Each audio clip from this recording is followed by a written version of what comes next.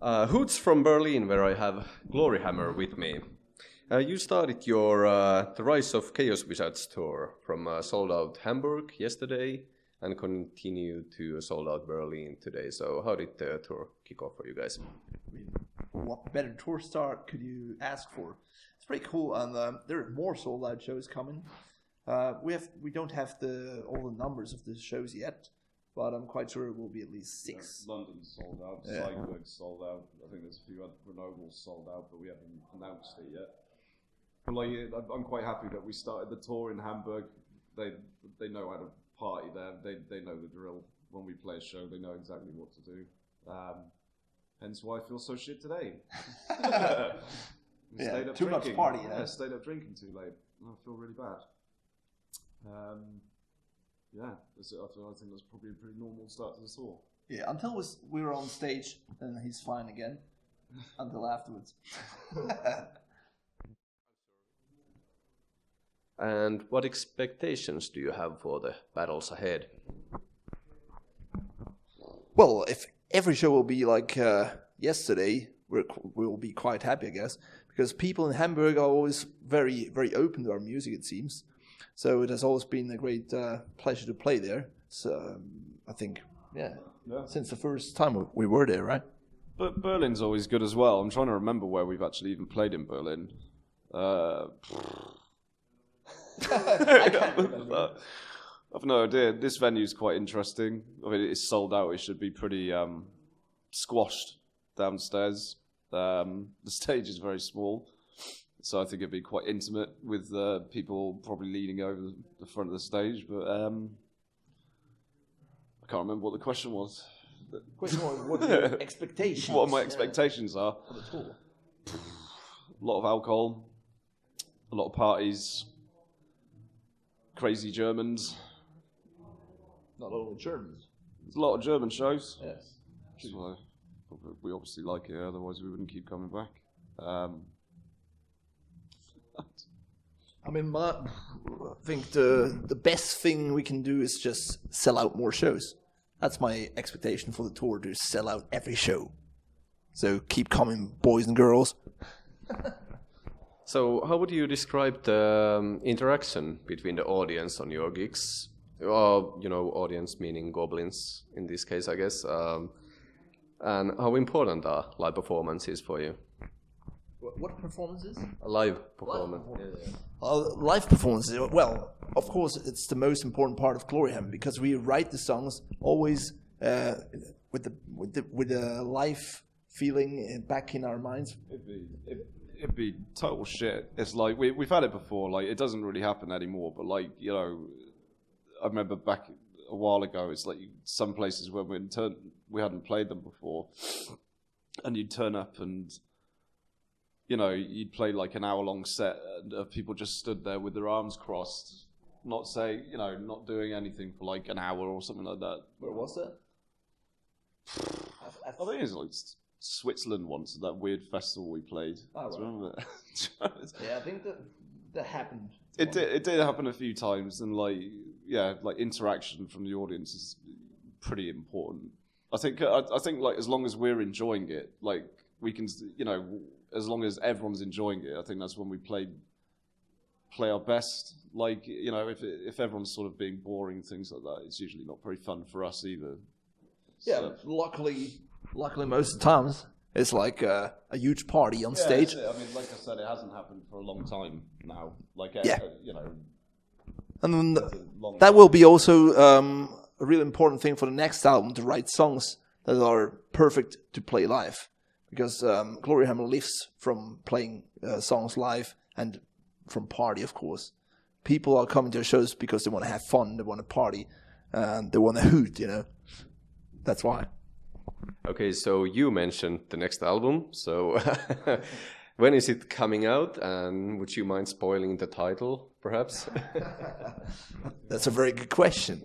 I wish I could answer this question. Actually, um, we're working on, on new songs, um, and I hope I hope it will come out very soon. I have no idea because it all depends a bit on uh, on our keyboarder Chris. Well, it's not just that we're we're all writing bits and bobs at the moment. The, the important thing is that we're happy with it because obviously the last album did so well, and you know people really like the songs. We really like the songs.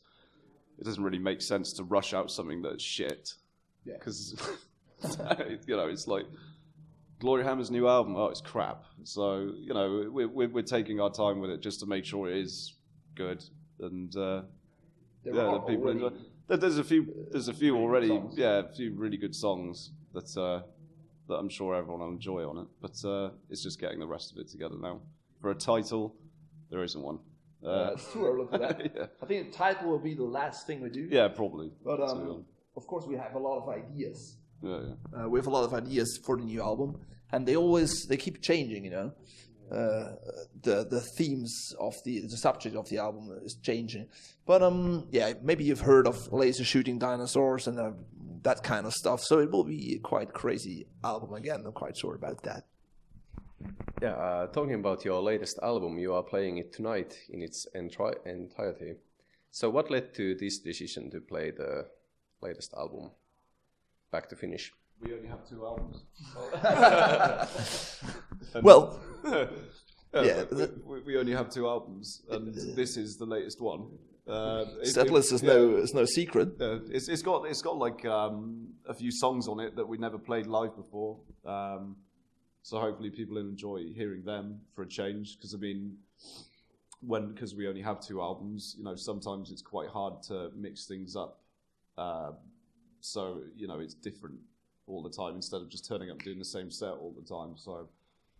Because because this album had done so well and people enjoyed it, where we thought it'd be fun for us to just do the whole thing start to finish, really, and then just throw throw in a few bangers at the end. Exactly. That's what we did with the first album when we were on tour. We had to play the whole album through, you know. And, and now it's the same with the second one. It's actually the first time we played the whole album through. And plus, of course, the best songs of the of the first album that people await when they come to shows like uh, Unicorn Invasion or Angus McFive. So um, yeah, I'm looking forward to playing these songs because um, especially one song that I've written is playing played first time actually. I don't know why this is. yeah, looking forward to play this song. Exactly. That's why the ones we never play it. Tom wrote it. I actually quite. I quit. It now. No, I, I, I, I, I don't know why we haven't been playing it. To be honest, I actually quite enjoy playing it. So, no, I- you're all right, Tom. Well, uh, your band virtually uh, screams for metal opera. So, do you have plans to make your live performances even more bombastic than this? And how long would you guys be willing to take it? I know tonight you are playing in a very small stage, but uh, going to a bigger stage, you know, how uh, big could it get? When do we have the musical of uh, Gloryhammer? They, they don't even like uh, the problem with this venue. They don't even have enough power to. We can't. We, we can't use any of the lights and the smoke cannons or anything that we brought with us. We've got a big new backdrop. We can't use it. We. Um, It's harsh, yeah. Yeah, it's it's a bit of a. But you know, for for the future, I think there is no really there's, there's no border. I think I think we talked about doing it with an orchestra once, but then I think we're they they probably get annoyed playing with us the Goblin Orchestra of Dundee.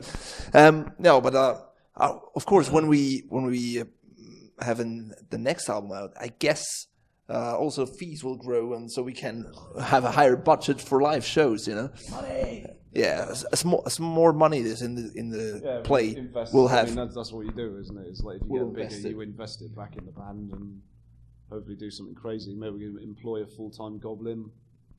probably a whole Goblin army. Yeah, you know? maybe maybe a few goblins Yeah. to uh, do goblin things. what goblins do, you know.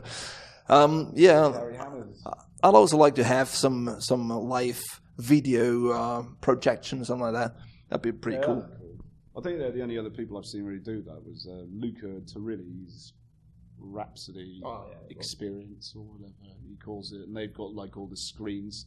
Well, I swear it's like the same trailer over and over again or something that he plays. I don't know. But Yeah. it's, it's years since I saw them. But For- I remember thinking it was cool at at the time. There are a lot of things we could do. We could also have a real dragon on stage or something like that. That would be cool. I'd buy. I'd, I'd pay for that. Uh, going to your terrifying narration, where does the inspiration for the story come from? Well, I think it all uh, came to came to us in a crazy dream. Wet dreams, you mean? Yeah, a crazy, sweaty dream. That's uh, Actually, uh, the ideas are just developing um, throughout the, the entire process of writing the album, and mostly the ideas change a lot, as I already mentioned. Um, Chris is a specialist in this uh, thing. When he has a good idea, I'll think, "Oh, it's pretty good," and then two days later, it's already a different idea, idea that he wants to do. Um, sometimes it's a bit pity because there's so many good ideas that haven't been uh, banned on the album yet that, aren't on the album. So I think there's a lot of good stuff coming up for future things, for future projects, and now we just have to to keep writing new songs so we can uh, fasten up this process. You know. Okay, uh, let's talk about the cult of hoots. It's, uh, it's a bit, bit of a fresh, uh, fresh thing still, but seems like already you have a very active uh, fan base, and uh, they have their own language, of course. You know all the hoots and everything. So, uh, how uh, how closely do you guys interact with your fans? Well, um, actually, I I always read a lot of comments, and um, I never I never um, write to people, but I read them, and it's always really nice, as you as you said. It's really nice to see that they develop their own ideas of how the story of Gloryhammer actually could could have been or could develop. So um, that's interesting to see, and uh, I always wonder how how creative those people are. They they're making their own fan art. They're making their own uh, stories. That's pretty cool. Yeah, I, th- I'd like to think we're a pretty friendly band. Like interacting with fans is like mo- most times we play a show and I don't have to leave early. I'll just find someone in the crowd and go drinking with them. Like- it's like that, that guy. There was some guy crowd surfing to the stage over and over again last night, and he was like, "Oh, don't you remember we met?" And I was like, "No." And he was like, "Apparently, I'd gone to the wrong hotel with Mike." Across the wrong side of Hamburg, and we just met him drinking. Was and, it uh, uh, near Herbertstrasse? I don't know where it was, but uh, yeah, that's uh, I like that place. But the um, yeah, like uh, I woke up the other morning and uh, Chris had started some fan page called Cult of Who, and I, I get notifications for it all the time, and I read them. Some pretty interesting stuff there. yeah. People got a lot of crazy ideas. Maybe we'll steal some of them. I don't know.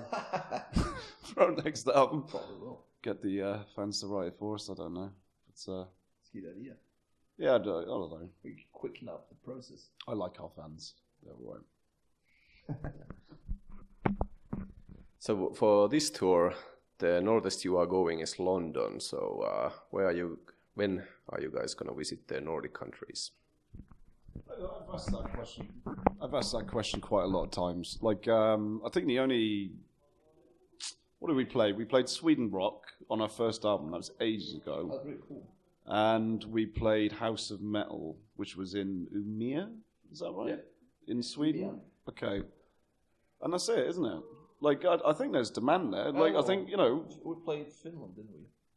No, no, we played Estonia. We went past Finland on the on the way there, but we, we haven't played Finland. We played Denmark. Denmark.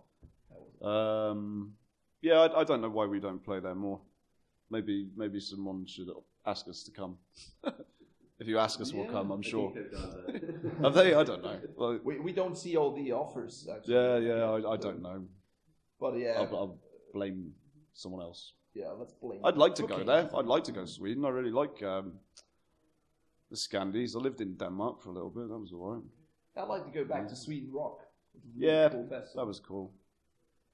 Um, anyway, so I'm also looking forward to uh, the London gig because the not only that it's the last show of the tour, but it's actually the place where we first met. Yep, it is. First Will be yeah like a homecoming or something like that because um, Like, yeah, we did it. five years ago I went there and had no idea how crazy those people were that I meet, you know. There, and we had a photo shooting for the for the first album there in this venue in the O2 Islington. So that will be pretty cool then. All right, I think that's actually everything for tonight. Uh, well, Uh, well, uh, about the new album, maybe not, but uh, we'll get them in time. So thank you very much, guys, and well, hoots.